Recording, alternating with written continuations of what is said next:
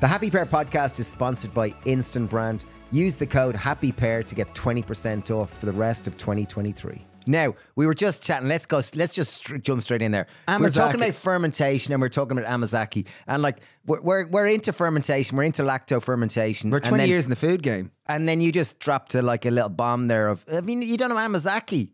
Amazake. Let, let's let's start off. what is there, Doug. Amazake? So it was a Amazake is uh, sake before it's fermented into wine. So it is a rice um, product that is um, fermented with a thing called koji. So koji fermentation is uh, kind of an advanced fermentation that has existed in Asia for thousands of years. That it predates electricity and was originally used as a preservative. nature's electricity. Exactly. God knows how they figured it out because what it is is you're growing mold. It's like a white mold, a fungus, on a substrate such as rice or barley or uh, something with starches and protein, and um, so grains basically. And you're incubating it at um, 30 degrees approximately. Quite a warm temperature. Yeah, warm and very humid, so like 70 or 80 degrees. So you can do that in like these kind of Rational ovens, you know, these com- those combi chefy ovens. So Um, 30 degree temperature, about 70 to 80% humidity. Just think about like an incubation chamber. That's all you're doing. Something you're that breeds mold. Exactly. So you're just growing mold on a grain. Now that sounds bizarre, but it is this incredible powerhouse of enzymatic um, uh, tra- transformation. So you add this koji to a thing, say uh, an- another grain, um, peas or quinoa, or you can use vegetables. You can use anything. You can use um, And this is like adding the trim. mold and blending it together, adding it. Ma- imagine just blending a kind of a, a soup. You've got your koji, you've got your ingredients. So miso is obviously a firm, um, low on moisture product. But then you've got things like soy sauce, which is obviously a liquid version of miso. And then you've got the kind of in the animal world, you've got uh, garums, which is uh, a garum is um, like a soy sauce, but from an animal. So uh, buttermilk, garum. It's the same thing as soy sauce, but it's from an animal. So uh, uh, soy sauce is named a shoyu. And then you've got the animal version, a garum. And then you've got miso, which is the solid version. And then you've got amazake, which is what we were chatting about before. Doug, this. this is like a masterclass here. Yeah, well, fermentation, I'll say this, is the golden gateway to zero waste. Now, what I mean by that is when you buy miso, it's using virgin products. Uh, when you use soy sauce, that is virgin soy. Okay, so it's grown and turned into those products. But where we, Silo, this is, um, have done something different is we've thought to ourselves, so this koji thing, this mold, it has this power of introducing incredible deep umami flavors. But what if we do that with surplus ingredients that would have otherwise been wasted? You know, carrot tops and um, beetroot peelings and basically Onion skins. onion skins and total waste. What if we were to apply the same principle, adding koji and uh, salt, and then fermenting it? What would happen? And that's what we've been doing for about four or five years. Uh, to the point where we're now about to open. Actually, this is um, I shouldn't be saying this, but a fermentation factory. Well, well, you've got you've got a fermentarium. Like I remember when we visited last, you had And it was a- cool. A It was like- fermentarium Yeah. where you had one cubic ton of koji infused fermented food waste, which would have been waste, which you were fermenting and just And you walked down, so- so Compounding you walk flavour. down this magical kitchen. So it's like a treasure trove of fantastical, like exotic, not exotic, but just diverse ingredients from all over the world that Yeah. are typically purchased. mostly the UK. Yeah, mostly the UK. And then you open up this closet and it's known as a fermentarium and you feel like, Yeah. the amount of stuff in there. Yeah, the the fermentarium is. Um, I'm not sure where the name came from, but we've got these big glass doors that kind of uh, cupboard it in, um, and it's like an aquarium, and it's fermentarium. So we've called it the fermentarium, which is a really lovely name that's stuck. And um, as that project moves forward, we're just going to refer to it as the Silo Fermentarium. But it is this, uh, as as I said, the golden gateway to zero waste because everything that four years ago was um, too inconvenient to turn into a product. I like inconvenient. That's a yeah. very deliberate word choice. So a typical restaurant would waste 50% of what it buys or purchases or what comes through its front door. That's the average, 50%. 50% 50%. gets wasted. Um, we're talking about the stems and the kind of the peels and the skins and Or what customers don't eat by as well. weight goes in the bin or ideally in a compost bin. However, um, when you're a zero waste restaurant, you want that to be as small a percentage as possible. And about four years ago, before fermentation, we were composting about 10 to 15% of what was coming through the front door. And you had the what, what you call it? Biodigester. biodigester. Yeah, in the, the, in restaurant back in the biodigester, day. which is a compost machine, basically, which we had to, I say had to, we actually gave it away because when fermentation entered the equation, that food waste went from 15% to less than 1%. So this is the power of fermentation, especially koji-based fermentation, because it has this transformational power. It has this metamorphic effect to something that you just can't figure out what to do with, and it has this um, introduction of umami, which is what we all kind of associate with that sort of advanced fermentation. Which which is that for anyone listening, that's that bacon flavor. It's that really depth of flavor, only identified as a flavor in the early nineties. Yep. You know, literally umami, the direct translation of the Japanese word is deliciousness. So it's that fifth Yeah. flavor profile. when you go to Asian restaurants and everything tastes like mad delicious, they've just chucked a load of MSG in there. And MSG is this um, monosodium glutamate, which um, is incredibly high in MSG and it just has that kind of mad deliciousness. Like if you're ever making a broth and you just put a pinch of MSG in, it will immediately taste significantly better. You know, 20, 30% better just from that pinch of And, does MSG get anything to do with fermentation or koji or no, anything? Or no, it's just the umami association. It's just you know, so fermentation is not the only thing that brings umami. Like there's natural amounts of umami in uh, Tomatoes, tomatoes, uh, even things like you wouldn't think like chicory is very high in umami. Um, so yeah, there's there's a lot to umami, but fermentation. Um, yeah, it's just very naturally uh, you associate that with it. Our newsletter is the best way to stay up to date with Happy Pear recipes, podcast, and general Happy Pear information. Full details in the show notes where you can sign up for our weekly newsletter that I personally write myself. So we partner with Instant Brand and they really are helping people and helping us rethink the way we cook. One of my favorites is their Vortex Versazone air fryer with a clear cook window. It's got this big drawer where like I know there's a craze about air fryers, but this is the air fryer of air fryers. I love it. Yeah, it really is. Um, they've also got a, a Vortex Plus air fryer oven. There's an Instant Pot Superior slow cooker, which is really cool because you can actually saute first before you slow cook, all in the same pot. And it's a great way of making healthy food just easy It really cook. is. Well, well that, like I, I honestly use the air fryer and the Instant Pot all the time. Like I genuinely do at home. Use the code Happy Pear to get 20% off for the rest of 2023. Okay, Doug, before we get lost in fermentation and the Yes. gateway to Yeah. zero I want to come back to this for Yeah, sure. we should come back you- to Okay, it. so you're an incredible chef. You're someone that growing up struggled with school. I wonder can we talk about that? Yeah, let, let's let's get let's, even let's get listening to you here, you're incredibly articulate. You're when you talk, I find myself going, whoa. So can we talk about your jinx education it. process? Don't jinx it. um, so um, I've just had three incredible, enlightening years of therapy, and one of the most profound revelations in that journey um, was understanding why Silo exists. What was my motivation to open a zero waste restaurant, the world's first zero waste restaurant? And it is not what you think.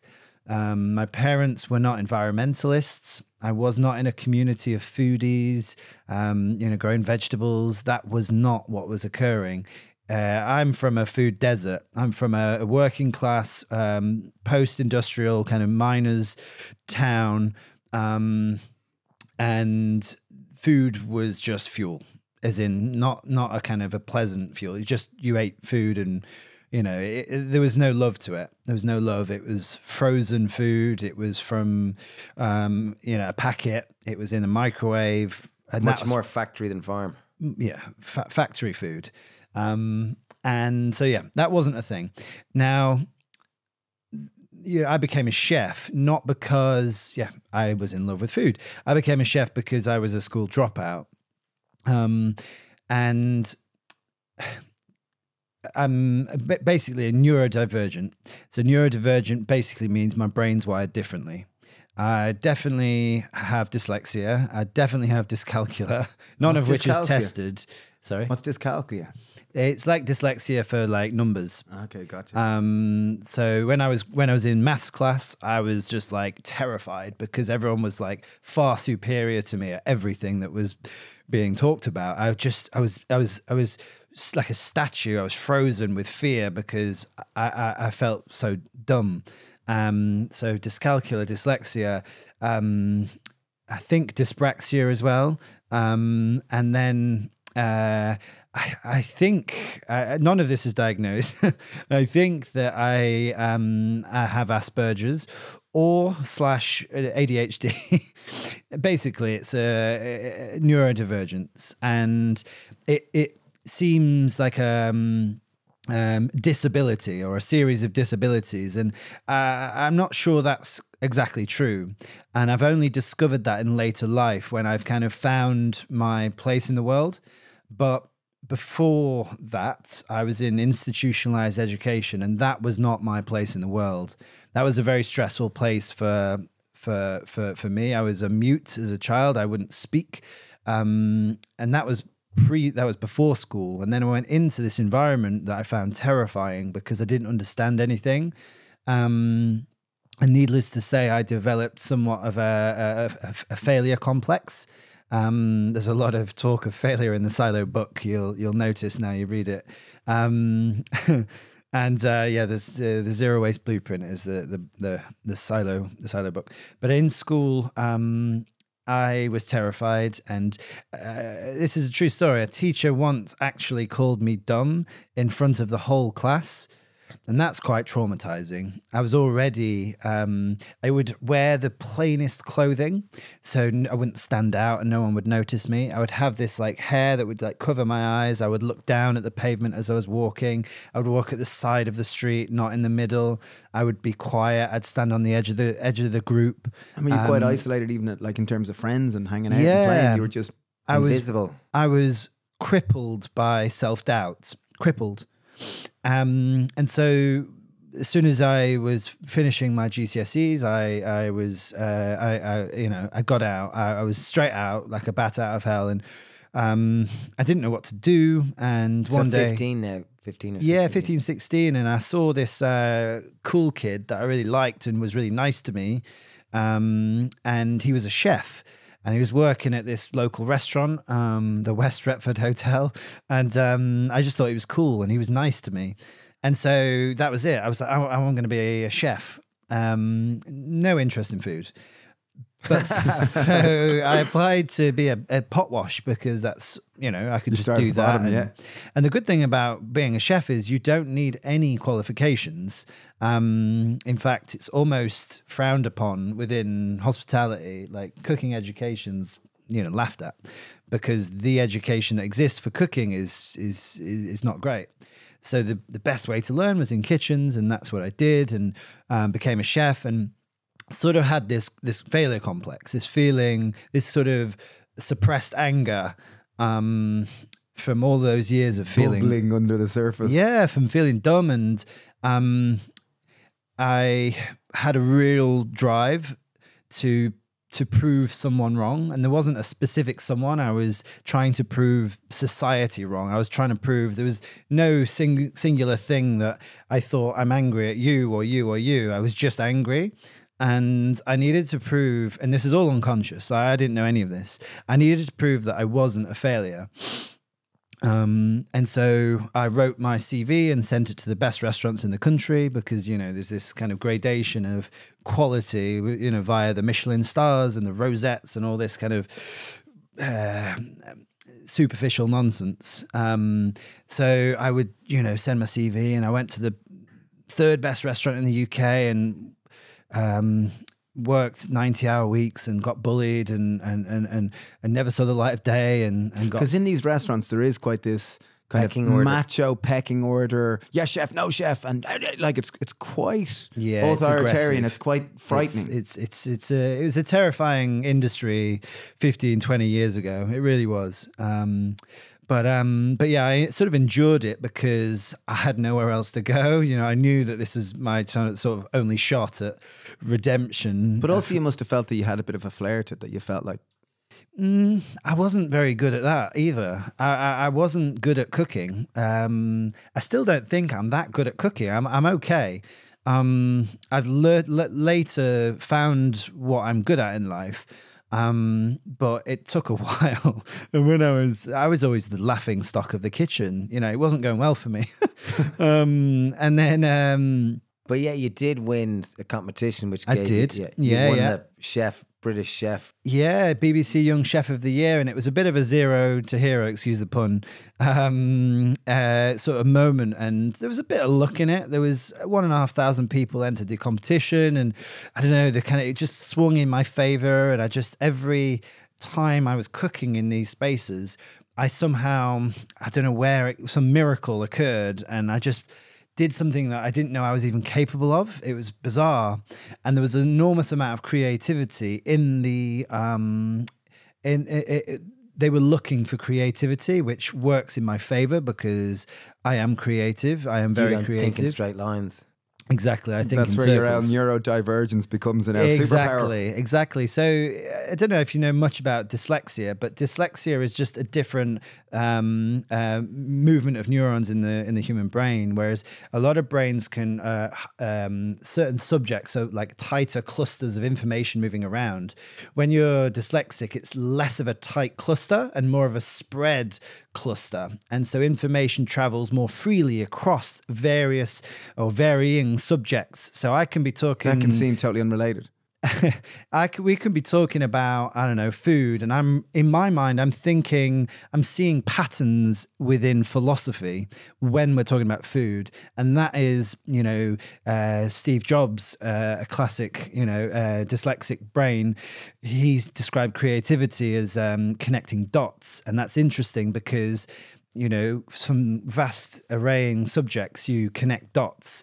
And he was dyslexic, and Richard Branson. And there's loads of like innovative thinkers um, who have changed the world that are dyslexic. And the word begins with dis, i.e., disability, but it's not. It's just a different way that the brain processes information. I love that. Um, so uh, so yeah, I got kind of really, really, really good. All of a sudden, it was kind of like this weird miracle. I don't know where it came from. And after that, did you feel more confident? Did you feel more like, actually, maybe I am the real deal? I'm less. it it it, it there was like this kind of nirvana, this this euphoric three day period where I went so high, and then I crashed. You know, like with any sort of experience, you go into a flow state, you come out of it, and you crash. Um, I crashed and went into this quite negative space, and it was um, it was a feeling I, I didn't know it then, but uh, a sort of a this thing that I'd done was superficial. I, you know, I was voted the best, but what does the best mean? The best cooking? Like, what does that mean? I, you know, am I? I don't think I am. I'm pretty sure I'm not because the chefs in my kitchen was teasing me the other day for being useless. I don't think I'm that good. I think I got lucky. Um, I went into this sort of hole of doubt again, um, and I, I had to, I had to, I, I had to explore this, this, this, this void, this empty space, um, and and I don't know if I had any semblance of clarity or, or, or discernment from what where that feeling was coming from, but I had this feeling that I had to um, travel the world and find some sense of purpose that was not superficial. You know, not just like grading how good one is, you know, versus another. It Like, wasn't best and better and that kind of category. of yeah. my food is better than yours. Subjective. Yeah, exactly. So I, I, I then sort of upped the the ante and went to the world's best restaurants, and I went to all the world's best restaurants, and this kind of And were pattern. you This was or to work in them. This was to. Yeah, yeah. I was I was to w- work in, and um, some of them was stagiaire, you know, uh, internships, working in the best restaurants. Some was working, and there was all these patterns that I was recognizing, and this is quite an interesting word. Well, pattern recognition, and I was recognizing patterns that many different things, but the industry, the the higher the caliber, um, the greater the amount of waste. Um, uh, yeah, there was a lot of things. There was this kind of industrialization of the world's best restaurants. And what I mean by that is when you work as a chef in the world's best restaurants, it's like um, a conveyor belt of, you know, you've got one chef doing one or two jobs all day. Um, whereas in the lower class kitchens, you'd have one chef doing 50 jobs a day. So there's all this diversity of experience and skills and multitasking. And in these world class restaurants, I find myself just doing two jobs. Chopping carrots into Yeah. julienne or whatever. yeah. And anyway, so there's just all these different patterns I was recognizing. And um, I, I was sort of falling out of love very quickly with gastronomy. I didn't mention, but I fell in love with food in this journey. In in these sort of decade of cooking, this first decade, I really fell in love with food, and um, and from um, a working class background, food wasting food. The one kind of good value I learned from food was not to waste it. You know, just don't. Food is precious. Um, we don't have money. Don't waste food, etc. Um, but in these sort of um, restaurants and sitting on the top of a uh, you know on top of the planet um the there was a bunch of things i realized and i was sort of out of love with it and and sort of losing faith in it but i didn't know where to go. And um i i this is sort of where silo started basically. And i realized that um i wanted i didn't realize I was looking for a way out, and I was looking for a way to rebel against this sort of uh, machine, this uh, you know rage against the machine sort of moment. This wasteful food system, which was It was everything. It honestly, it wasn't like I was trying to rage against food waste. I was raging against the machine. I was raging against the institutionalization, and I was angry at uh, homogenous, you know, homogenous kind of cultural thinking. The way that uh, it, it was, it was un, yeah. I couldn't quite put my finger on it, but it was the whole kind of mix that I was um, not into, and.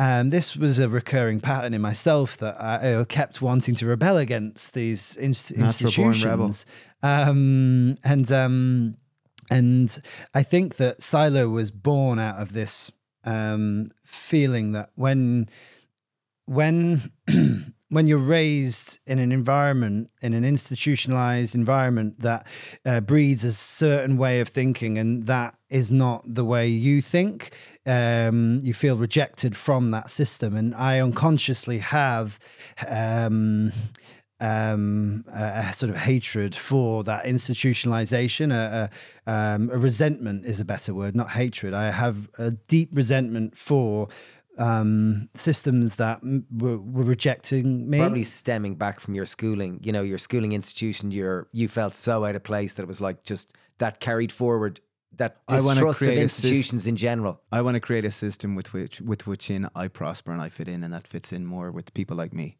and then Silo was born. And Silo, so so you're in Australia. You bumped into I remember a Dutch man uh, who introduced Bakker. Joost, Joost Bakker introduced the concept of zero waste, and kaboom, a spark was lit. So he was this sort of um, savior, this light at the end of the tunnel. This uh, was working in Sydney Harbour, and uh, he had built this incredible construct out of waste materials, post-industrial A waste. building ma- or a it was a building. I think he's on uh, Down to Earth show with Zac with Zac Efron, yeah, he's yeah. featured in it. Yeah. And so his he's this incredible Dutch artist that was uh, raised when he was uh, in the Netherlands next to landfill. And so there's kind of an interesting theme there for him. And so when he moved to Melbourne um, and became an artist, he would naturally gravitate towards post industrial waste and he would use it to harness nature. Um, a big biodynamic uh, family, generations of biodynamic farmers, and they grew tulips, um, and they would grow their own food, and had this very sort of agricultural mindset.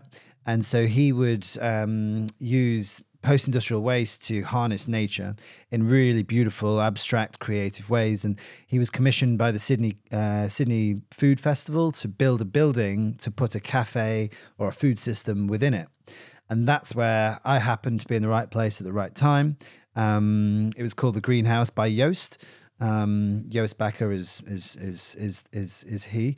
Um, and I, I, was sort of down and out in Sydney and uh, looking for a you know uh, an alternative life, and um, walked into this incredible project.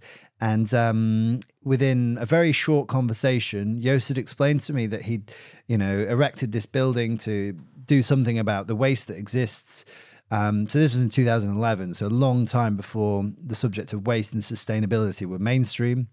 Um, and he said to me, uh, you know, we've got this building made of waste, but we've got a food system inside it, and you know, we are creating waste. Not a lot, but some. Do you think, as a chef, you could not have a bin? And um, yeah, and that was it. That was sort of Your beginning. mind went, woohoo, here we go. I didn't know what it meant. I didn't know what I'd never really thought about waste. Now I've thought a lot about it. Um, but then I was just looking for a way out of this world that I deplored. Um, and so I just said to him, Yeah, I could do it. I didn't know what doing it was, but I just committed to this brilliant human being and he had this very extraordinary creative energy. It was almost like he was from the future.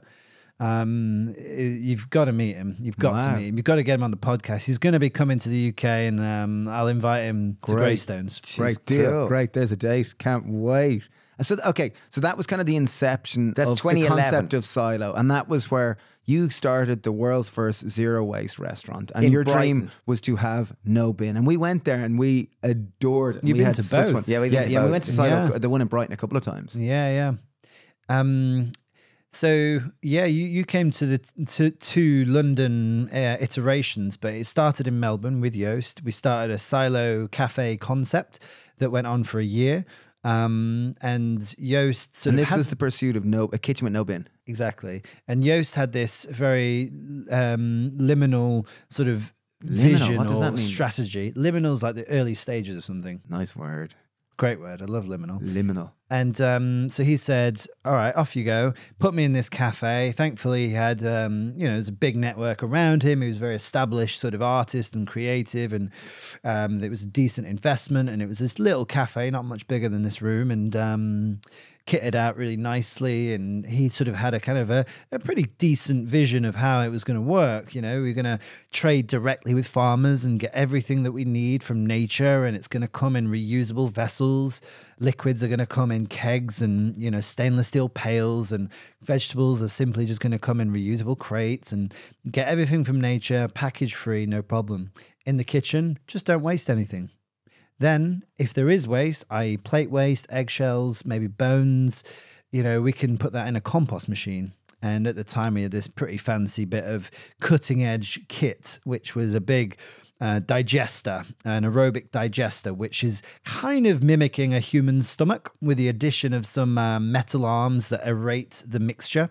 So it's a heated cavity that has microbes um, that, when warm and uh, aerated by this sort of movement, this kind of um, cyclical movement of these metal So it's like a drum. Uh, yeah. It's a drum, yeah, and um, it just speeds up uh, the decomposition of food waste and turns it into this amazing um, In compost. what type of time? What type of time frame? Uh, 60 kilos in depending on the surface area so you can put like i don't know a whole watermelon in there that probably takes two weeks uh, but if you put the just the thin rinds of a watermelon it will take 24 hours um, Wow. so uh, on average about 48 hours you put food waste in and it's pretty much compost Wow. I yeah. remember you- I I remember you talking about one time. Sorry, I'm going off on a total aside, but you'd put in a whole load of le- you'd made lemonade. and you put in a whole load of lemon skins to make lemon compost, with which to smoke carrots in lemon compost, so the carrots would taste of lemon.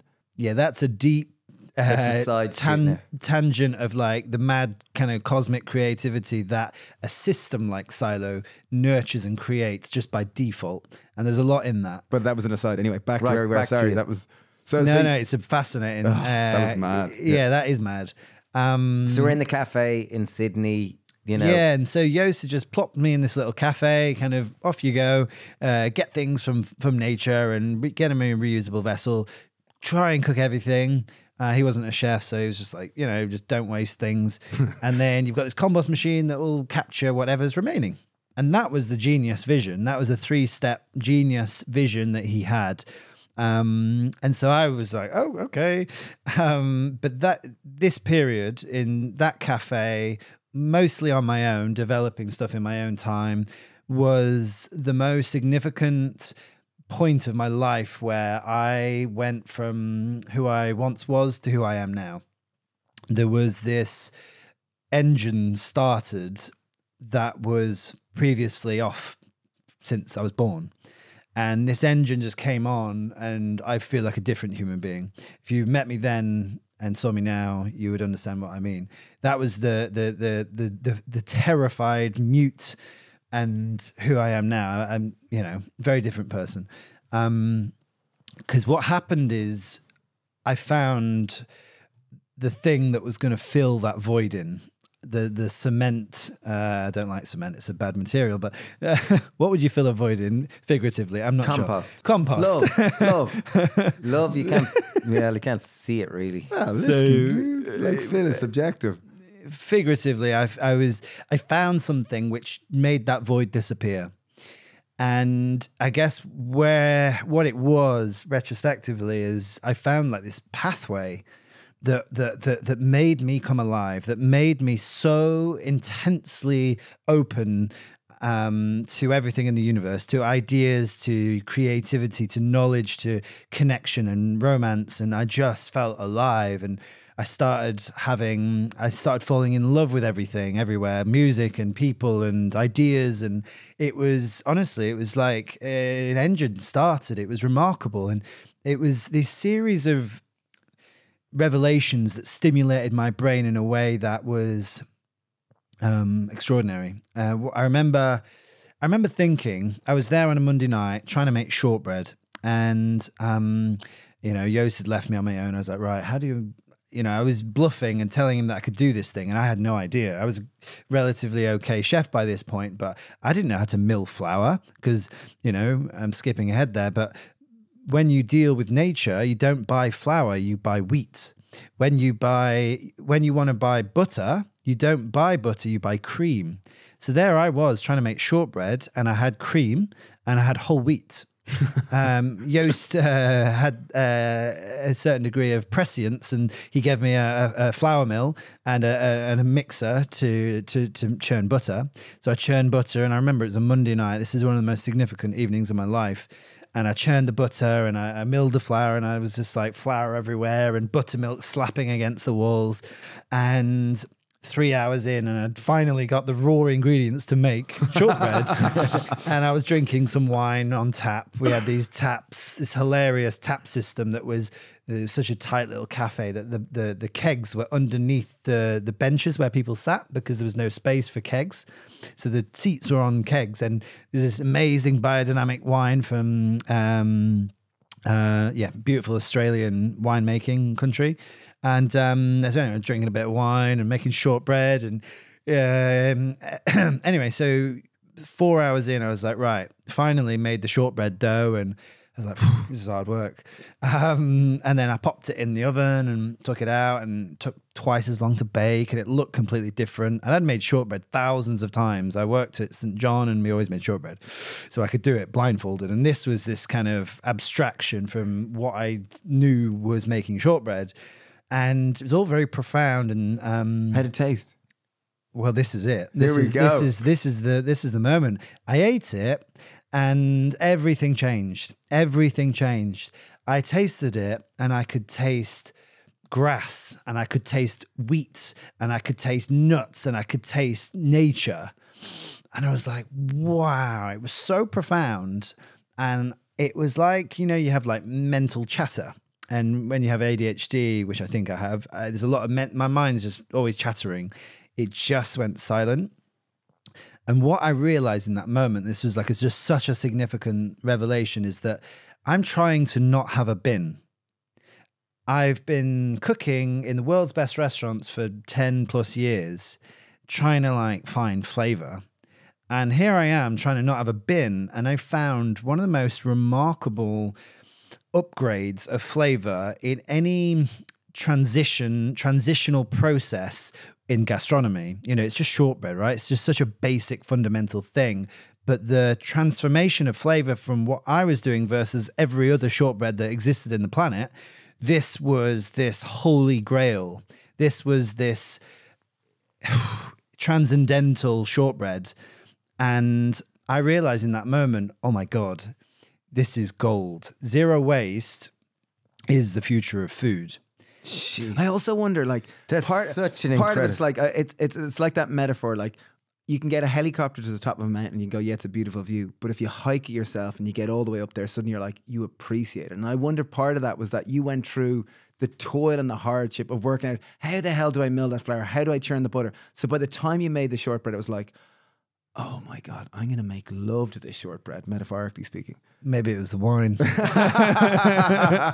it does sound when it was like, shit, I wanted that shortbread. But it doesn't stop there. That was the beginning. That was like the engine being turned on, and that just kind of gave way to this avalanche of various um, thoughts. And then I was thinking, this is this is really the the framework of Silo. This very night, um, this architecture appeared in my mind, um, and it was this thing. I'm trying. I was trying to like figure out. Right, I'm, I've not got a bin. And so, what am I avoiding? And I was like, right, where does waste exist? And I was thinking about, you know, packaging and tracing it back to like wholesalers. And I was like, right, okay, these kind of couriers, the people that aren't from a farm. And I'm dealing now with farmers, and farmers don't have all this plastic and polystyrene and unnecessary, you know, packaging. And I was like, what's the difference in my mind trying to like silo these these these kind of archetypes of the food industry. And i realized that we had um you know what is it what's unique about a bunch of farmers coming into this you know, little establishment? And i was like thinking about this world of like industrial industrial industrial industrial industrial you know plastic and polystyrene and pollution and you know road miles and um confusing uh, logistics. And I was like, you know, this umbrella term, industrialism. So, what is what I'm doing different to that? And I was like, pre industrial. What did a food system look like in the 18th century? It looked like what I'm doing now. And I, I then coined the term this is a pre industrial food system. And then I was like, well, is, then I was like, where does waste come from? And then I was like, well, and then I had this vision, and I don't know if it came in this order. This was a long time ago, and I was drinking some wine. Um, but I had this vision of a bin in the jungle and realized there is no bin in the jungle. I was thinking about nature. I was like, there is no bin in nature. It's a human thing. Waste is a human thing.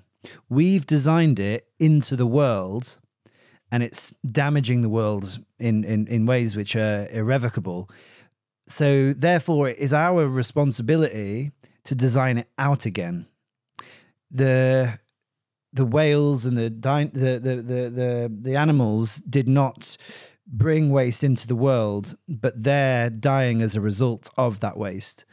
And I just thought, wow, me. You're allowed first, go for it. Yeah. um like oh my god like and then this just like pathway in my mind opened and that is silo and that's just the beginning and that was just the beginning and a whole bunch of other things part of the avalanche of ideas kind of opened and but yeah that was 2000 and the beginning of 2012 i believe uh, in melbourne and um yeah that's how it started Doug found the train. But the even in your book, like it's like I, I I've read your book and it's brilliant, and I've only highlighted a few pages, and one of them at the very end is zero waste is nature. It says to achieve zero waste is to integrate with nature. A natural food system cannot create waste because everything is nature. Zero waste is nature, which I think is you've just like Yeah, yeah, I yeah, I mean, yeah, it, it's uh, yeah. It, take humans out of the equation, there is no waste. Waste is a human thing. We've designed it. It is an abstraction from nature. There's an interesting guy called Paul Stamets, mushroom yeah, yeah. genius, Um, Mycologist, yeah. and he has this theory which makes perfect sense: is that humans as hunter gatherers. Um, actually, now I'm like, Is this a good idea? But yeah, he he has a theory that It is the, we the were- great Stoned ape, ape kind of one of stoned ape theory or whatever that one. Yeah, psilocybin, um, this um, psychedelic vision uh, created this imagination. So this word imagination is really fascinating paradox because we love imagination. Um, my, my my silo's tagline is "Waste is a failure of the imagination." You know, so we're putting imagination on a pedestal. It's this shining light, but then in this theory, imagination's the kind of double-edged sword because no other species has abstract thoughts. This is another fascinating thing to consider. So humans have abstractions. You know, we create uh, all these unique um, subcultures and unique forms of music and expression, and all these abstractions. And you know, you don't see dogs listening to the Smiths and you know crying, and you don't see you know giraffes kind of wearing black eyeliner or you know wearing punk clothing. It's a very human thing. Um, and the abstract thoughts that we is unique to human species is amazing. You know, we've created some of the most incredible things that will make us cry, and we've flown to the moon, and we've created advanced healthcare that saves, you know, creates miracles on a daily basis. But Big like with all good paradoxes, there is a, a dark side A cost, a of the moon. Um, yeah, you know, there is no, there's just this balance of positive and negative energy to everything in the universe, right?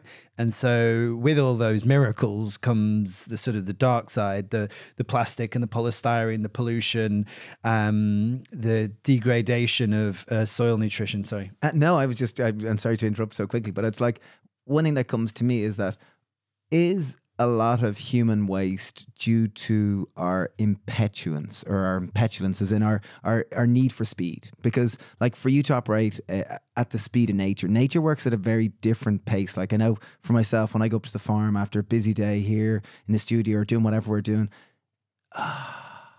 There's a breath. there's a different rhythm. Yeah. There's a totally different rhythm, and nature has this ease about it, and it's just it goes at its own beauty. There's time to breathe, to work. Whereas when I think of industrialization or like you know a modern day industrial food system, it's got time, it's got KPIs, it's got it's got results, it's it's highly efficient. It's part a of capitalism. it's a Yeah. totally different speed, and I wonder. Is that fundamentally the problem? Is that Yeah. humans were trying to Yeah. go too fast and do too much now? Yeah, yeah. I think that um, this is a big, big one, Yeah. and there's no singular thing that we can pin it on. There's no one person saying, "Follow me down this," you know, pathway. It's, uh, it's um, it's like looking at um. A colony of microbes in a petri dish behave in a particular way. It's seeing these patterns of nature, and um, I'm trying not to, in my head, compare us to sort of a, uh cancerous nature. Yeah. However, as, as, as negative as that sounds, um, the breeding uh, of the human species, the way in which we're developing, the one thing I can see very clearly is that we're evolving at such a rapid rate and changing the face of the world um, at a speed which we can't keep up. The wisdom cannot keep up with the change. So, to give you an example, like we're making these cataclysmic um, decisions. Um, take fracking. Uh, we're like, right, we've got this. Uh, we need energy, so we can explode the Earth's core to extract energy, and we can use a very small amount of energy to get a lot of energy. Win. So that's a kind of like short term decision, you know, under the kind of capitalist structure um, that's, you know, um, feeding uh, human greed, you know, money and da da da. And the long term implications of that decision are so negative that it's, of course, it's a terrible idea of course it's it's toxic you know it's a molotov cocktail of like 30 different uh, chemicals in exploding the earth's core of course that's insane but yet it's happening and there are thousands of examples of the same insanity but yet we don't have the wisdom. There's not enough collective wisdom within the human species to be like, hold on a minute. Let's just This take it easy. make Let's take it easy. Let's just take it easy for a sec here. The species dying every minute. There's why don't we just slow down as a, as a collective society? Share our resources so everyone can be happy. You know, it sounds so Yeah. simple when one looks at it like that. Another great example, which is kind of currently occurring, is uh, hydroponics. Now, hydroponics is growing produce in water with mimicking some kind of like nutritional benefits within the water. Some. Now, that is uh, uh, so absurd to me. And that's because I have some degree of knowledge about nature, some, not a lot, some. And to a lot of people, to um, tech seems like the savior of the planet, right? Tech, you know, so impressive how amazing technology is and what it can do. And we kind of unconsciously obey tech and we kind of worship tech. And because it's like nature in tech, it's like an automatic win. But then you've kind of like got to like click your fingers, throw a bit of cold water in your face, and be like, hold on, is this a good idea? Let's take a step back and think about the implications. Think about how many uh, micronutrients are in a teaspoon of healthy soil millions. How many of those micronutrients exist in that water?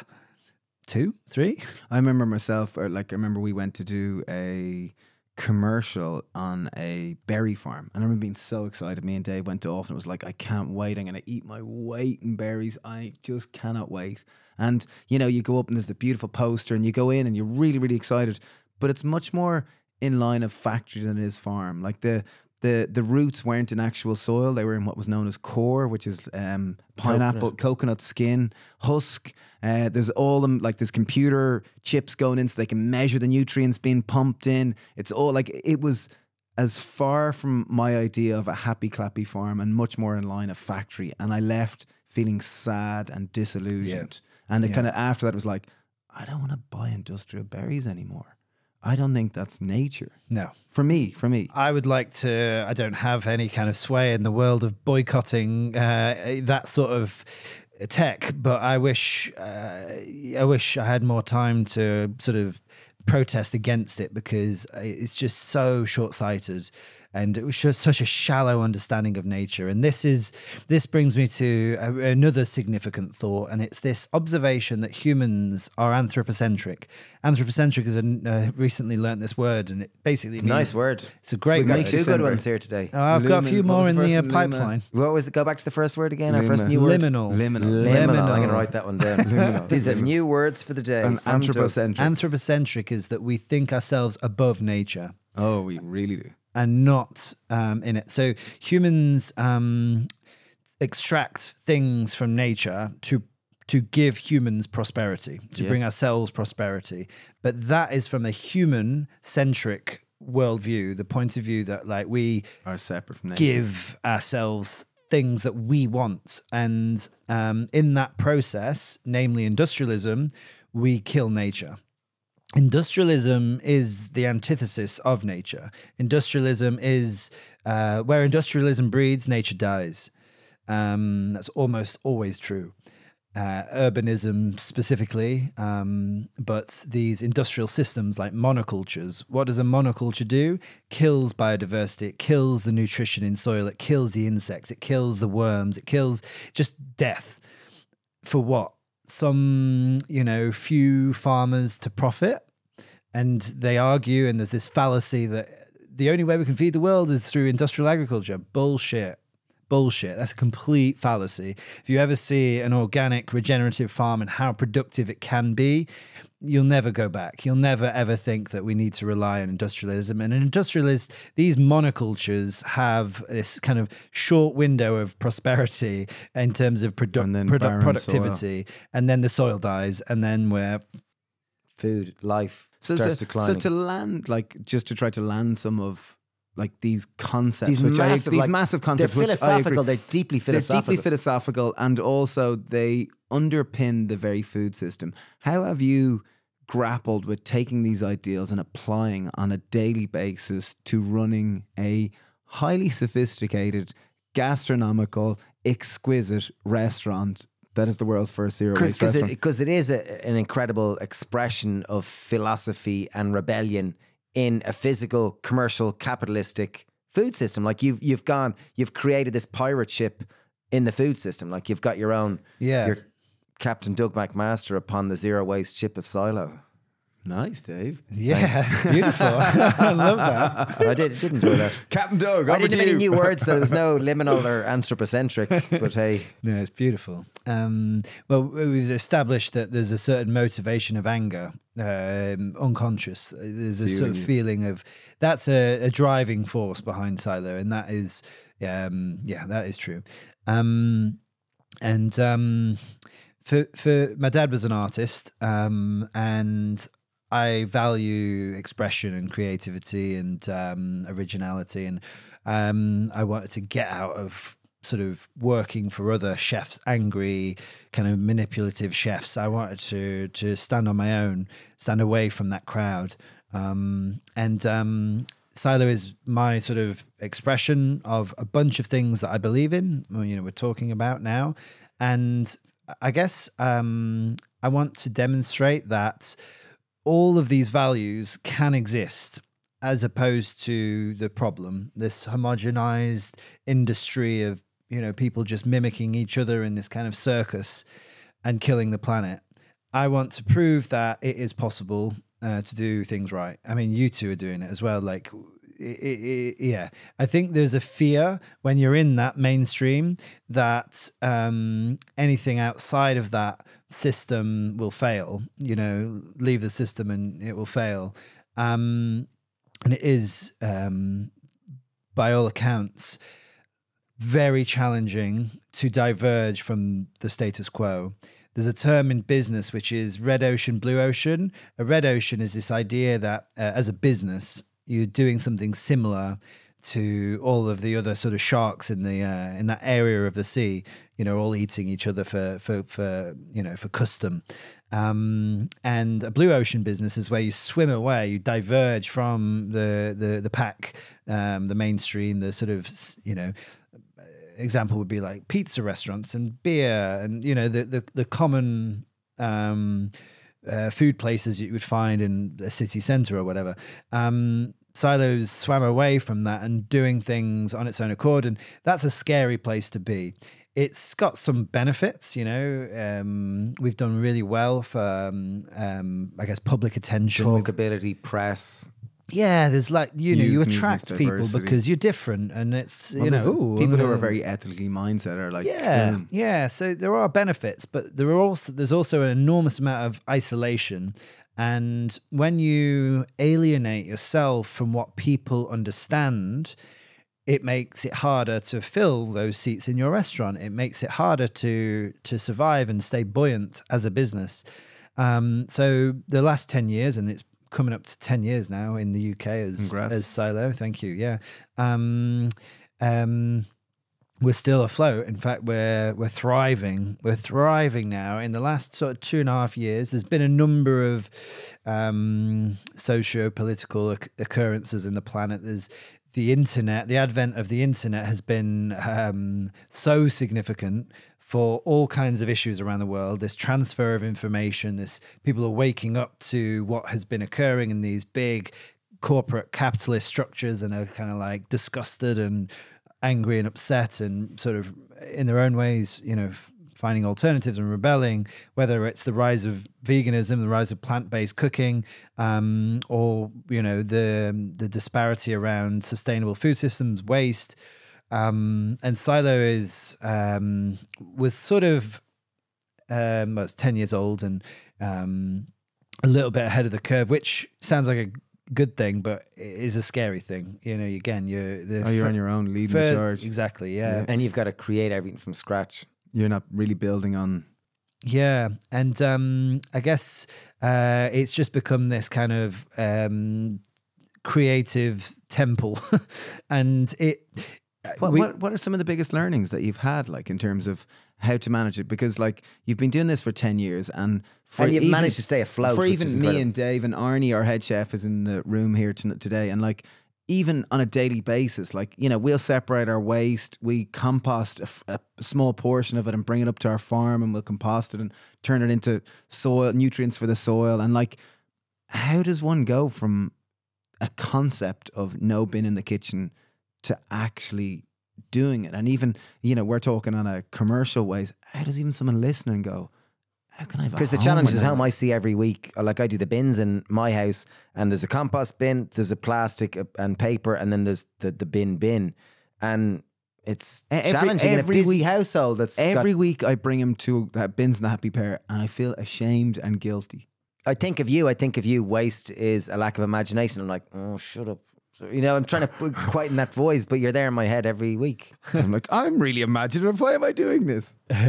Well, this is a nice opportunity to kind of go from a more philosophical kind of commentary to a more literal commentary. Yeah. Yeah. Um, Practical. so, systems design uh, would be the kind of uh, big statement in terms of how to give it not- to us, Doug. Give it to us. I like it. And what I can I can articulate around literal system change um, from silo to a typical or an, uh, a similar size restaurant or whatever. Um, so Joost, all credit to Joost for having that sort of amazing vision. As as sort of simple as it is, it's genius. Um, get things from nature. maximize all those resources within the restaurant and then compost it. You know, very simplistic. Now, 95% of what would necessitate a bin falls under that umbrella. So 95% of what's coming into silo is food from farms. Um, Vegetables, and vegetables, inputs, uh, food inputs. yeah, and so literally, that's you know how we do it, and we get So you're dealing direct with the farmer, not With the dealing with food the middle person, not dealing with the. Distributor, it's just direct relationships. But then when you really start to sift through everything a restaurant Like, needs, how do you find a Well, you local just- grower of turmeric or a local grower Exactly, of cumin seed? Or How do you find like more even a black pepper? The more you go deeper into uh, the logistics of everything a restaurant needs, the more you're like, oh, that doesn't make sense. I can't get that from a farm. I can't get a light bulb from a farm. You need a light bulb to, you know, light a restaurant, right? You need um, all kinds of things. Like what But it depends on where you grow the rules because you know, like you've gone to the T where you're now like uh, to the nth degree. I mean, where you're you've made tables out of mushrooms. You make you know you make plates out of the glass wine bottles. Like you are pushing this lot further than most people. Like you, your rules of the game are more severe than other Yeah. people might have imagined them. Or more sophisticated. yeah, So two of the big sort of um, conundrums, um, kind of big kind of um, the one material that remains, the one single-use material that remains in our system is single-use glass. And that is because we don't grow, um, there's, there's not enough production of natural wine in the UK. And wine is a natural wine is a very significant part of our offering, very significant. And it doesn't have to be, but I want it to be. And so it is inevitable that we have single use wine because it's not local.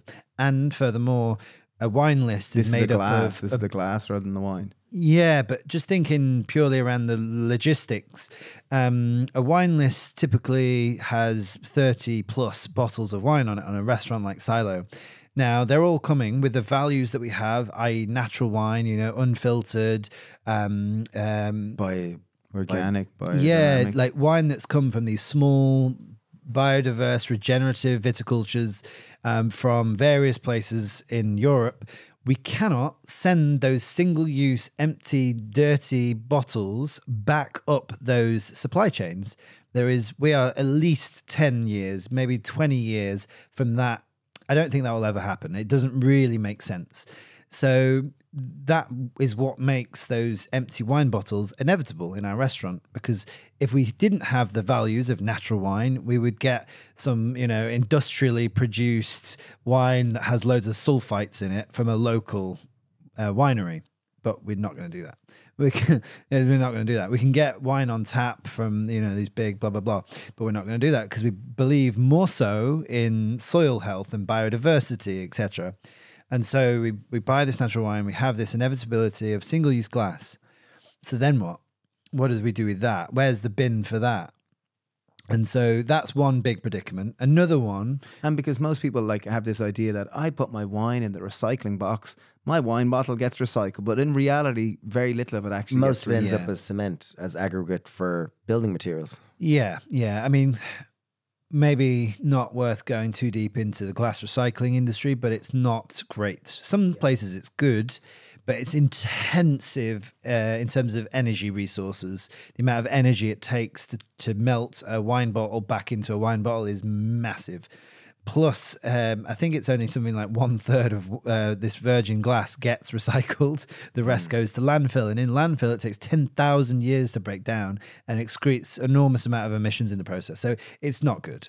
Um, so we wanted to innovate there, but another one is like, uh, you know, But, but even just to clarify, so because we may not come back to this, Okay, to innovate there, you've got a potter on your site above Mark. the restaurant, Mark the potter, who literally breaks the glass in a machine that crushes the glass. He puts it in, he turns it into plates. He's a potter that turns them into plates, turns them into glasses, and he's actually on site turning waste glass into usable, tangible inputs for your restaurant. Exactly. But I'd just like to take a tiny step before that innovation or that actual reality manifesting into Silo is that moment of like, what was different in Silo having that idea?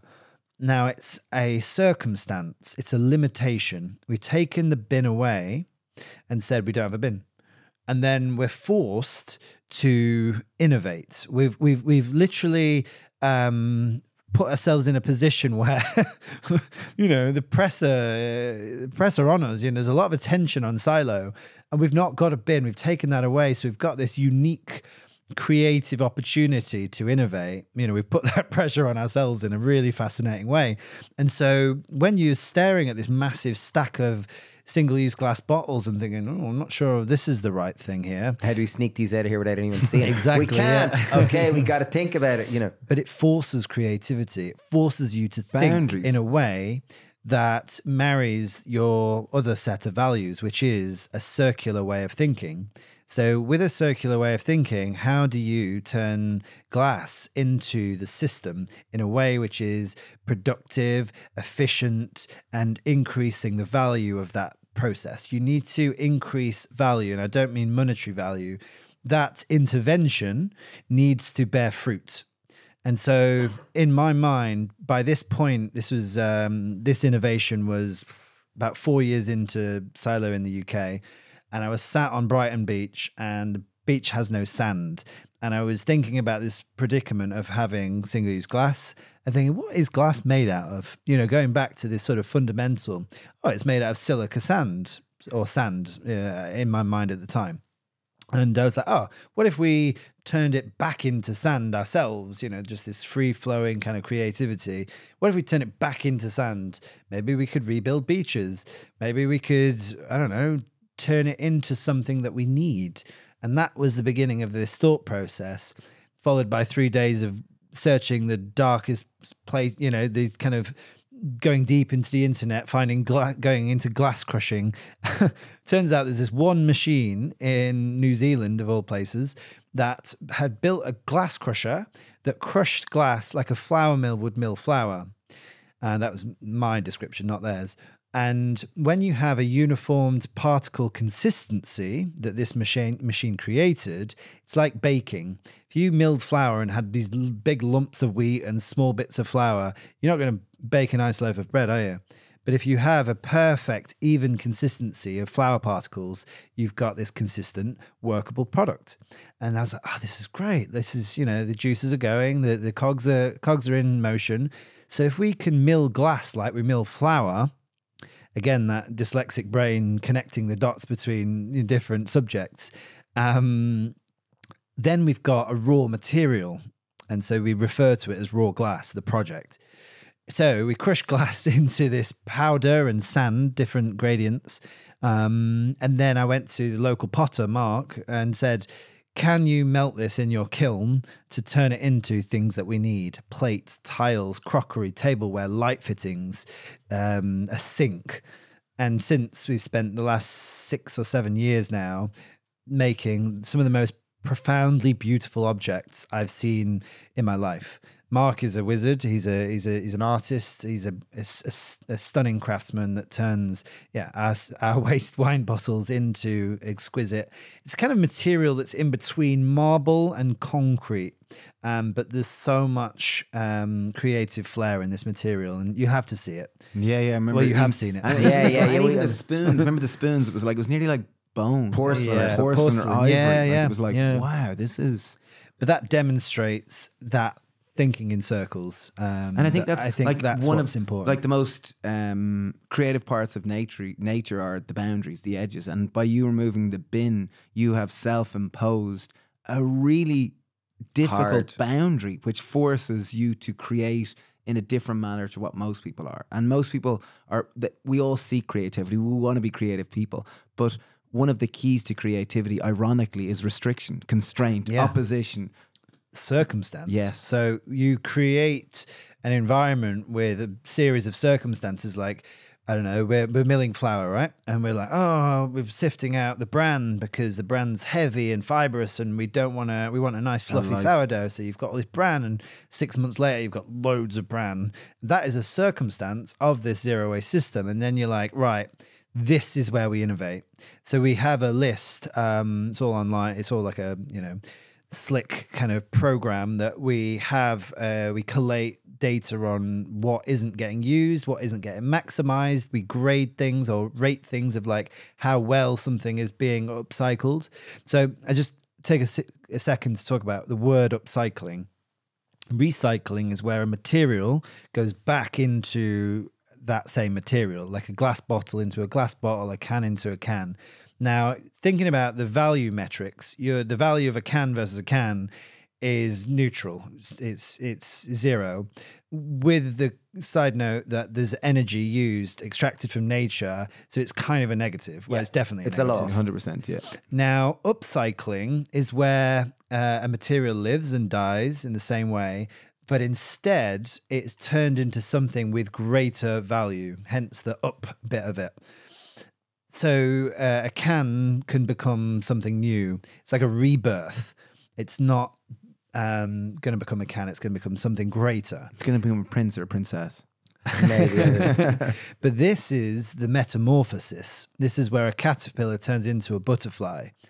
And this is the raw glass. This is turning a, a, a, a glass bottle that has negative value. You pay someone to take away that glass. And you're converting it into a plate that you could easily sell for 30 pounds or 40 euros, whatever. Um, and so that's upcycling.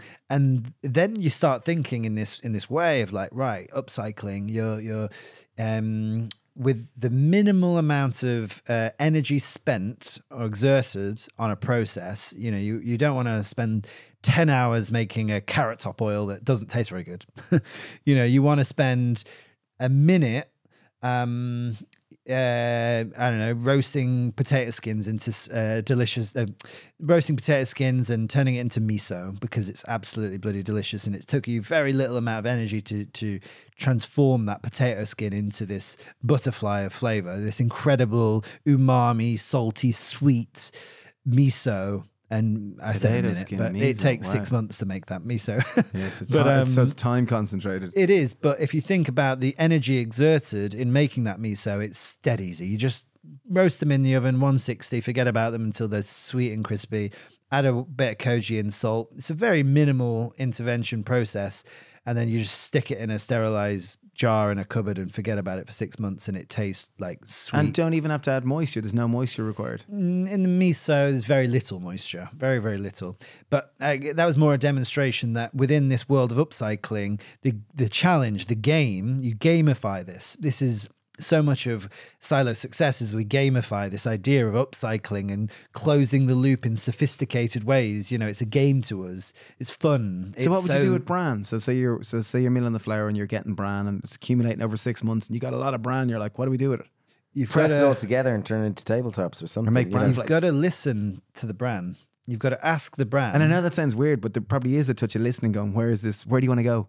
where do you what what do you what are you it's like going back to education like if you um if somebody's not good at maths you know don't throw numbers at them you know, if somebody's creative and visual, put them put them at a table with a pen and paper. You know, and that's the same thing with a brand. You listen to what it wants to become. It doesn't want to become something light and fluffy. It's heavy by nature. So you think, right, a what protective layer. what do I need within a system that is heavy of nature? Ah, well, we've got this new ice cream, this buttermilk dulce de leche ice cream. Maybe we could make a bran wafer to make an ice cream sandwich. Boom. You've asked it what it wants to become, and boom, it finds its destiny. It finds its purpose within the system. And then that is that sophisticated closed loop. It's not just closing the loop for the sake of it, it's finding gold within um, Working with that- what things in, are in their essence. Jeez, like it's- it's, like it's- teaching, trying to teach a, a, fish to climb a tree. It's It- just not built it's, for it. It's, it's, So- a fun, it's Yeah, a fundamental different way of looking at things. Like I'm even looking at it kind of thinking, right, us, we've been in the food business for 20 years and I'm going, to, to apply this to our system is like, we're going to have to relook, stop our system and relook at every aspect of the inputs or, or make micro changes. But to fundamentally change it would need to stop it and to relook it again and well, to it start starts it. with a mindset shift. Yeah, and well, it really does. It's like it's like what you've done with Silo is it's a philosophical, philosophically different approach. Like it- it's a fundamentally different approach. And my question now is to you: like you've been at this ten years, you really have been at the helm, the innovator, the tip of the spear. Are there other people innovating and like continuing on on what you've started? Like, are there? Do you see more examples of zero zero waste restaurants across the world? People who are a network forming. it is Are slower you than I less would alone? I do feel, yeah, a lot less alone. Um, and um, I think the word zero waste is still very abstract. It's still like, you know, even at Silo, uh, I, I, maybe we'll come back to the very specificity, the very metric of zero. Because zero is obviously a, a, a, a word that represents an idea. It's not a specific ob- um, um, analysis of actual waste because no one has zero zero zero waste, not even silo. Well, humans don't fundamentally, so a system with humans in it is going to have waste. And it is, a lot of people would say it's not possible. It is possible, not in this industrial world, but it is possible. Um, but we need to design all the materials in this cradle to cradle circular design, which doesn't yet exist. Like we still have palette knives and silicone molds and you know things that are not circular in silo. Um, but you know we've got to um, Work with work within the bandwidth of our own sort of. Uh, I just have this visual of a, an elastic band, and you push too hard to push the system too far out too quickly, and it'll snap. And so, within the realm of our own sustainability, we can push as hard as we can. You know, that elastic band doesn't, you don't want to break it. Um, and so, over the 10 years, it's got more and more sophisticated and complex and, and less and less and less and less waste. Um, we actually have, did I show you the, the Tesseract, the cube? Yes, yes, yes, which is amazing. so I've still never seen the Marvel film, but apparently there's this blue cube called the Tesseract. Um, and uh, Tim, a guy who It's makes the center of the world, or it's the kind of it's some Yeah, linchpin stone, magical stone Yeah. that can destroy the universe. Um, but if we, before I explain what that is, if we just define what um, a binless restaurant, or let's talk about a bin for a minute, right? So a bin is a kind of a broad word. You know, like words like love is a broad word. It can be used in so many different contexts. So a bin is uh, a compost bin, a general waste bin. Or you could say, geez, that lad's like a bin. He can put food away like no one I've ever seen. Like, but a compost bin and a general waste bin are polarized. One is really good bin, and one is a really, really, really bad bin. A compost bin is more of a, a holding place, a holding silo, if you will, for food waste to be reborn into compost. That's not bad. That's great. That's a great thing. A general waste bin is a graveyard of poorly designed materials. Linear, industrial, consumer, dead materials. That's what goes in a general waste bin. Now, again, polarized difference. Silo, when I say we don't have a bin, it means we don't have a general waste bin. I try and teach, I try and encourage everyone to call the compost silo because it's it's it's not a bin. I associate just in my own semantical way. Um, don't know if that's a word, semantical. Yeah, yeah. Uh, I'll give it to you. Thank you. Um, Uh, obviously, we write dictionaries, so yeah, of course, we're very. In, the um, the the the the compost bin uh, sorry a bin is a negative it's the the coffin the grave of of badly designed materials and um, that's the bin we don't have with the exception of our mistakes so we make mistakes we physically don't have that general waste bin however um, by our very nature, we fail, we make mistakes, and up the supply chain, there is plastic everywhere, right? There's so much plastic, even in these regenerative farms, everywhere. There's plastic everywhere. Now, that inevitably finds its way in, you know, mistakes, new employees at this new supplier, blah, blah, blah, blah, and just finds its way in. And, and we, we have this like, uh, kind of, uh.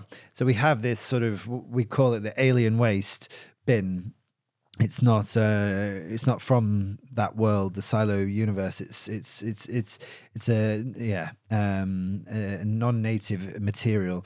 Anyway so we collect it and then our friend tim who makes knives out of nos canisters that he finds on the street um i said to tim could you uh do something creative with this actual waste to represent the kind of the the the the the, failing of the system or the not the failing but you know this is our actual waste so he um, took it. It was about three sort of large carrier bags of different plastics and a few other random bits of material in there, bits of foil, and um, went away and put it under one of these big like hydraulic presses that he has in his his workshop, and um, brought it back. And it, it's this blue because there was a lot of blue plastics that a lot of our dry goods came with this blue plastic because it's food food grade. You know, blue you Yeah, can see yeah. it if it's you know, um, and so yeah, we've got this blue cube that is about five inches by five inches by five inches.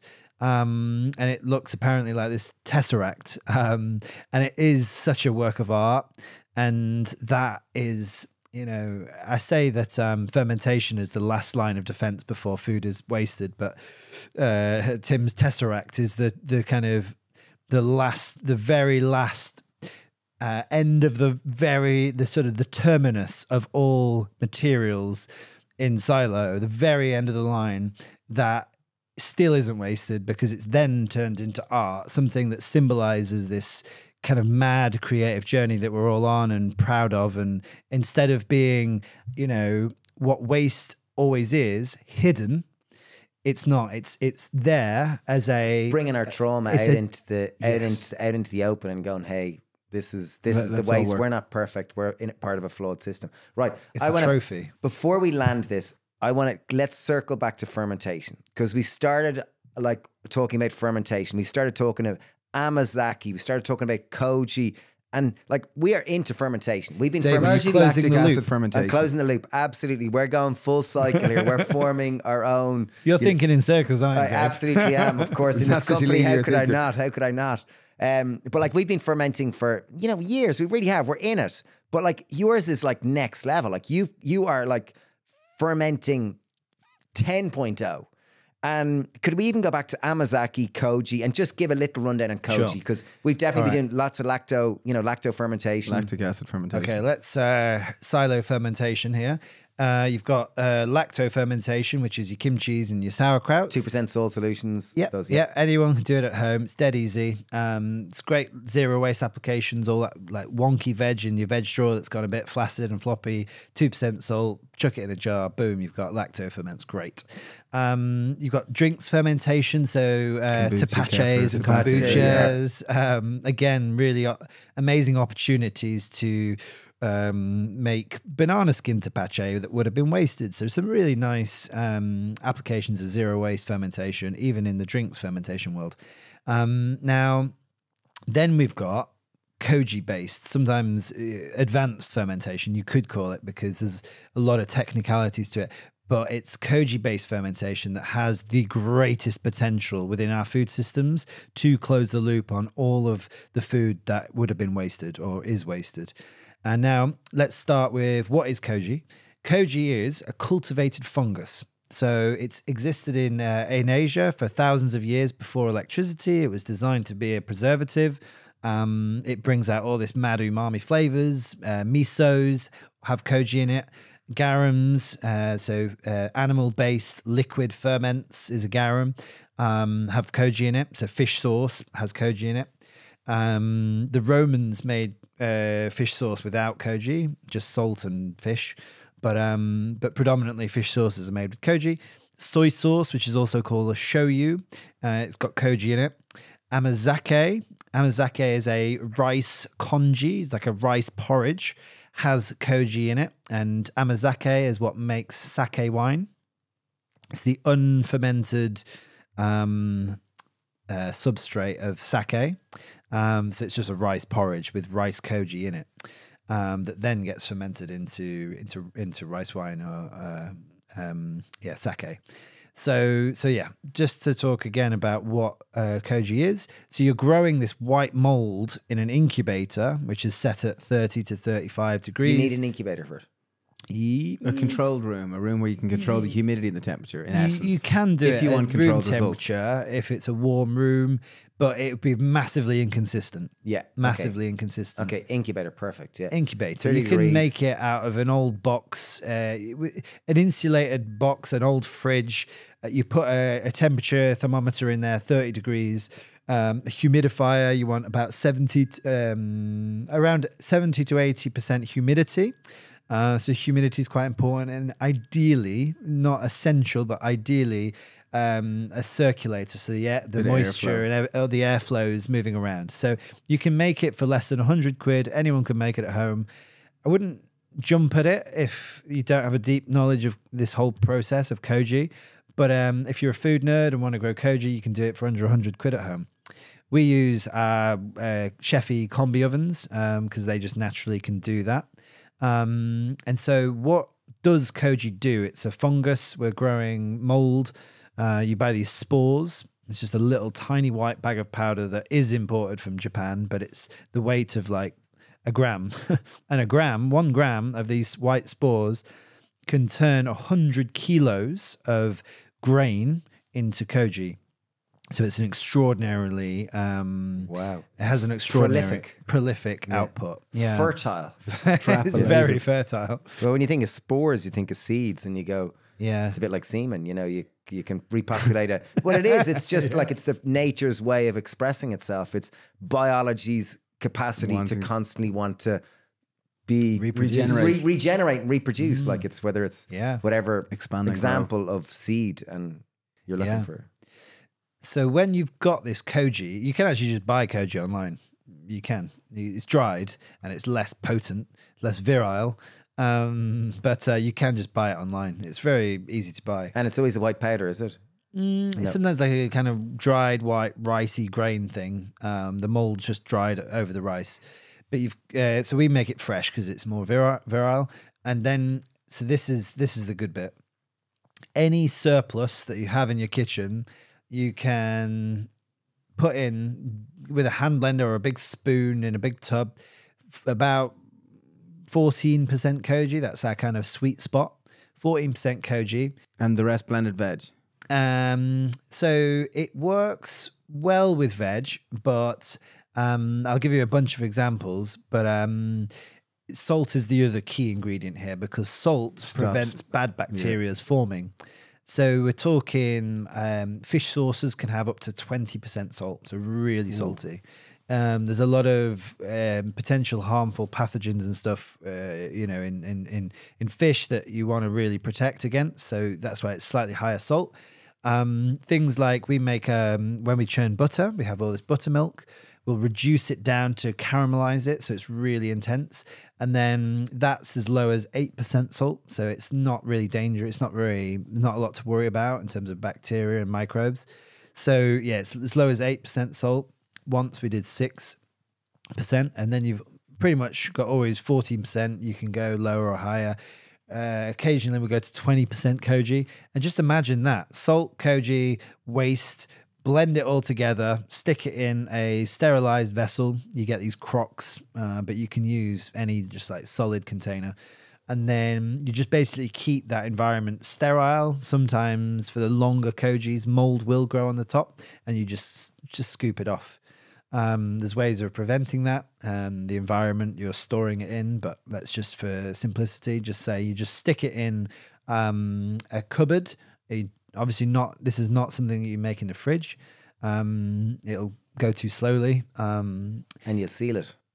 and you you uh, you want aeration in a lot of these things. Um, So cover it, but leave the lid. yeah, exactly. A, a cloth over the top, um, a perforation. Um, yeah, something that can uh, circulate oxygen. Um, stirring it in the first few months is really helpful to speed things up and keep things safe. Um, but that's it. It's really simple. And, who, who? This is the thing. When, and when I think of this, and going, who is the brave old soul that kind of goes right? Let's start a fermentarium and let's start messing around with koji. And then, like six months later, you've got this batch with mold on the top, and you're going right. Ah, sure. Listen, Monday morning. Why don't we have a lash of this for breakfast and see what happens? Like, um, we describe the the gastronomical experiences like defined by fire and ferments. We cook all the food on fire, and there's just there is fermentation in almost every dish. Um, for a lot of reasons, we use it as seasonings. We use it. Uh, we use when we do a lacto ferment. We'll have some of the brine to not waste it in some of the dressings, and to elegantly close all these loops to not waste as to waste as little as possible or to compost as little as possible rather um, we want to maximize all these re- resources in these circular designs. And so because fermentation is at the end of the production um, all those difficult uh, ingredients that we can't find enough of an outlet for it's capturing all of what would have been waste. So there is just naturally a lot of things fermented, and they're all bloody delicious. They're all absolutely exquisite because we've got good at it over the years, and you know Even that miso that we tried in your house was just like tapping at it. It was sweet. It was olivey. It was earthy. It was like umami. It was chocolatey. You were just like, what the hell is that? Yeah, And yeah. it, was, it it has that slight bizarreness that you're like, I shouldn't like it, but I really want more of it. yeah, I'm yeah, so yeah. it's like explodes this curiosity in you. And that was called fridge cleanse miso. And i had a bunch of random stuff in my fridge that was just never going to get used in these kind of odd bits. And i just hand blended them all together with koji and salt. And it was on my shelf since three or four years ago. And that's what you tasted delicious. yeah. and you just use it almost like marmite or whatever, popping a slice that of toast. particular or- one had loads of darkly roasted um yeah darker flavors uh, the outer leaves of red cabbages that were roasted and then blended you know like darker flavors um but um but we've got about one and a half tons of this koji based fermentation at silo and it's it's born from just what would have gone into compost basically um so um and it's pretty much concentrated flavor. It's a bit like you know, I use tamari. It's an ingredient I use. It's just a lazy man's flavor. Like you could almost bottle this up and sell it as instant flavor for people to add to dishes because you've got like time, you've got fermentation, and you've got serious flavor development, salt, and you know. But there's something very poetic about this fermentation asset to the zero waste kind of universe. And it's that when you give birth to the flavors of koji based fermentation, you're tasting these, you know, you've just described it like deeply complex flavors. You don't design a dish from a carrot when it's going to be paired with that where with a deeply complex umami flavor you design from the point of that flavor so the way chefs design food is they sit on on a bench at the end of the day and just think oh that sounds nice and i'll weave these things together um, now we design food backwards. We ferment all of this incredible uh, umami rich um, flavor from what would have been waste, from the circumstance of our own system, of our own creation. So we're, we're, we're not wanting to, we don't have a bin. So we're not throwing things away. So fermenting it as a, like a last resort, and then we're discovering gold. Like some of the flavors are just the best flavors on earth. It's the irony. It's a bit like the wounded healer. You know, you know, Chiron's the wounded healer in astrology, and it's the irony is that because of his wound, he therefore has to deal with this stuff and becomes one of the greatest healer that exists. So exactly. it's a bit like paralysis is unbeknownst leading you to this gift. Creativity. And so when we design a dish, it's always from a fermentation that is sometimes years old. that imagine years prior when that thing was you know being turned in you don't have any idea what this will taste like in two years you have no idea there's a sort of a beautiful kind of um, roll of the dice this kind of your the future is in the hands of Microbes and bacteria. microbes and time, you know, and it's the flavor of time. And two years later, you're then designing a dish based on what you did two years ago. It's it's quite magical and poetic and circular And closed and- loop again. Yeah. Yeah. it's but that's where we design dishes from. That point, Start with a strong flavor. Start with a strong flavor and balance. Well, Try to find harmony. the kind of the rule of cooking, you don't design uh, dishes or you know flavors from the most uh, plain. You design from the most complex flavors. I mean, maybe I, I haven't actually said that out loud or thought about that before, but naturally, I, I assume that you know when you're creating a dish, you think immediately, maybe unconsciously, of the most dominant flavors, and then you let that guide the dish because it's dominant um, and that's certainly the way um, with yeah with with silo. Amazing, right? We got to land this ship. To, to land this, for anyone listening who's gone, Doug, you've lit a spark in me. I'm feeling. I want to join your rebel alliance. I want to. I'm all aboard the pirate ship. Number Where one. does one start? Okay, His first of book all, is amazing. His book is brilliant. Like I read, I listen to lots of books, but I don't read. I, I collect books and I buy a lot of books. But I did read your book. I really did, and I've carried it around in my bag for months. And I like when I went on holiday. What's it called, Dave? It's called Silo, the Zero Waste Blueprint, a food system for a future. It's really, really cool. It really, really is. It's it's very very visually, it's artistic, it's philosophical, and it's funny as well. There's lots of funny little bits in it. So where do people start? So they start with the book, and then how- How, Instagram. does uh, Instagram kept Doug McMaster check Silo out? What are simple things people can do on a daily practical? Doug, I'm in. What are little things that I can do to feel like, yeah, I'm part of Doug's club, but I, I- you know, I'm not there yet, Yeah, Doug. yeah. But I'm, I'm flirting. I'm flirting with you, Doug. The the, the most important uh, thing um, is intention. Well, there's a process where you become aware of something, then you educate yourself on the thing, but prior to the awareness and the education is an intention. You have an intention to um, to to improve um, behavior. Uh, you know that's just one example, but we set an intention and we we pursue that intention with a, an amount of awareness and then an, an education. That's um, value based. Now, uh, to to be more literal, um, there are there are tons of things you can start with, and it all is relative to your geography, your environment. Are you in an urban area or are you not?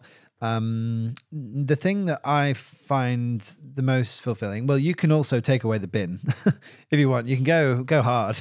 You can take away the bin, or you can create the environment to nurture. Just be prepared to deal with, you know, failures, multiple Yeah, failures. It yeah. just speeds up the failure process if you do remove the bin. Y- And frustrations will come quicker. Yeah, you know, that's the reality. I've Yeah, yeah. We, we jump off the edge loads of times and yeah. you, but if you can withstand banging your head a lot, like you've obviously, you've a very hard head, like I have a very hard head. Um, Metaphor. but, um, metaphorically, metaphorically. yeah. And, and and just to say, like you're one of the greatest philosophers that I know. Like you really, Oh, I admire. I like this conversation job. lit Thank you. so Here, here. But I think that um, uh, our, our mutual friend, I keep calling him a friend. I've never met him, but Zach Bush, who Oh, you've had on the show, yeah. he's um, Joost's friend and your friend. And I just I texted him a few times, but um, um, he's enlightened, I think, all of us to the reality of um, the future relative to what industrial agriculture is doing to the health of humans and the health of the planet. And that feeds into the thing that I see separately as the most important thing is supporting people that support your own values. And what that means is like if we have these values, if we're listening to this podcast and we believe in what this conversation is um, suggesting, then you know, we we, we want to go we want to we want to buy into the same community of values. We want to buy into farmers markets and bulk shops and people that believe in biodiversity and nature. And, local so food. use your wallet as a weapon. You know, use your we- wallet a weapon not against the farmers that you're buying food from, but against the big corporate capitalist death machine that is go on. I was just going to say, on that note, the thought came to me. There's a lot of people listening that kind of go, "Oh, I'd love to go eat in your restaurant. It's in London, but I don't live in London, and I live somewhere else." And blah blah blah. Like, did you ever consider creating a Patreon account that people could just give you a tenner and go, "I love what you do. Here's a tenner towards your revolution. Hopefully, it'll get you a little bit further." A few more pirate just creating a Patreon account is a way that people can go, "I want to support you, not just the local farmer, with twenty euro or whatever," and you know. Yeah, can continue the food system. Like, it seems like a I've simple not thought to- to, do that. I feel self conscious about charging. I don't But it's not charging, You do just- lots of yeah. talks. You do lots of talks, which is a great I, thing I to do, do, so people can. you know, I, I, I just any chance I can to like, you know, to talk about these things, I just will anyway. but you also do Um, them to corporates to get paid for as a source of income. I think Which is that great um, diversifying the sort of the silo world, and I'm not shy to talk to. It's not like I'm on some sort of silos on this high horse that we're like, we don't have a bin, we will not be associated with big corporates. I, on the contrary, will take any opportunity to go into some big corporate capitalist structure and talk compassionately to everyone in that building about Waste. the way of thinking because if one person has you know a bit of interest in one of the things that i'm saying and that leads into two actions in that person's life maybe to their kids that then you know it, it has this snowball effect into the future which i'll take it i'll take that i'll take that chance and in the 10 years of um, thinking and talking like this I'm not saying it's because of Silo, but there's been an enormous amount of change in the world of zero waste. Enormous, enormous. It's incredible. And I just believe that the most powerful thing that, you know, we three can do is um, change um, the food system in this creative, compassionate, you know, I never see you two bashing anyone over the head that eats meat. Never once, you know, have you had any sort of negative reaction to something that isn't your own values and i think that that's something that i've looked i've witnessed with you two and and and, and try and carry on in my own work you know and, and thus go into uh, you know environments where you know kill them with kindness and just like blow their heads off with information that that makes it a win-win or makes it like oh my god this is absolutely the shift. future you know so that's just how I sort of see it and how I invest my time into people and communities in the future. You're amazing. You really are. You're such a font of How, creativity. pe- how can people get in touch with you? Is it via Instagram, or is it great one. Yeah, Instagram. Yeah, Okay. yeah. McMaster Chef is mine, and then there's um, um, Silo London, and then the Zero Waste Cooking School, which is uh, kind of looking more at the domestic space for looking at similar ideas. Oh, uh, Disclaimer: uh, that was a project that I started in lockdown, and then realized I don't have time to run this channel, so I. It's a side project that I, I can't give sometimes enough gets inspiration, sometimes attention doesn't? Yeah. uh, but it has the potential to do everything that Silo does in a more kind of accessible, domesticated version of Much Silo. needed. That sounds like a very necessary project. I think so, and I, I just need a bit of help. Well, maybe it could be this um, Anyone you know, listening Patreon who's, account. This anyone's Patreon listening who's got a spare wad of cash who wants to invest in it, Doug's up for it. or even just to create to get Yeah. another human To resource to yeah, help. if, run, if, if run you're with this somebody that understands the world of communication and believes in what we're this conversation's about and wants to help me, I will take it. wonderful. Well, let's Yeah. end there. Doug, Yeah. you're a legend. We Oh, love thank you. you so Thank you. much, Brilliant. Stephen yeah, Dave. Love you both. Adore Thank chatting you. with you. You're brilliant. Wow. Woo! Doug McMasters, you were lit. Oh, is that all right? Oh, That was as, uh, that was an enjoyable as an enjoyable conversation that I've had. really, like mind blowing.